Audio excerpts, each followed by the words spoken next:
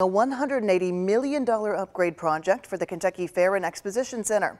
This is only the beginning, according to Kentucky Senator Robert Stivers, and all part of a $400 million renovation project to help innovate the center and make it state of the art. This first 180 million will pay for new indoor and outdoor sports fields to host different types of tournaments and bring more people to Louisville. But it's not just for Louisville, as Senator Stivers says. It's called the Kentucky Expo Center for a reason. For Kentucky to be strong, Louisville has to be strong.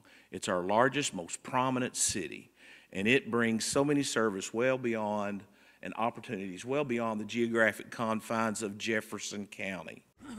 The idea is to bring more regional events to Louisville from Ohio, Tennessee, Indiana, and more.